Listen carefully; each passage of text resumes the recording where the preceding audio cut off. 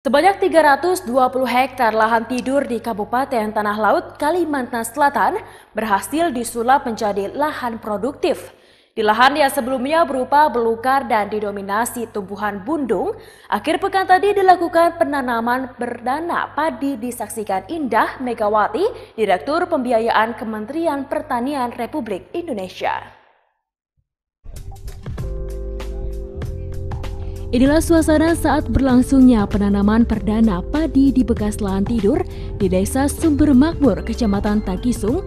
Lahan yang dulunya didominasi semak jenis budung itu melalui program Selamatkan Rawa Sejahterakan Petani atau Serasi Ditanami Padi. Program Serasi dicanangkan Presiden Republik Indonesia Joko Widodo untuk memanfaatkan rawa menjadi lahan produktif.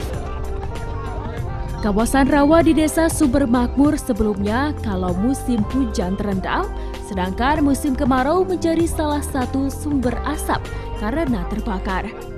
Kabupaten Tanah Laut mendapat alokasi 30 ribu hektar pemanfaatan lahan rawa melalui program serasi.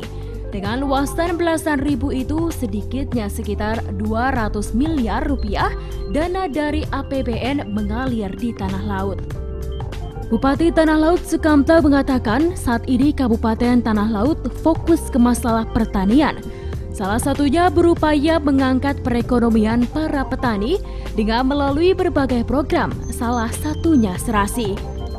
Menurut Sukamta, pihaknya akan selalu melakukan pendampingan melalui Dinas Tanaman Pangan Hortikultura, hal-hal yang menyangkut penanggung jawaban pemerintah kabupaten sangat luar biasa lah program serasi ini untuk mendorong peningkatan pendapatan petani kita. Tapi memang di sini atau dari? Oh dari desa sini juga. Ini ini ini petaninya semua dari desa Sumber Makmur. Iya,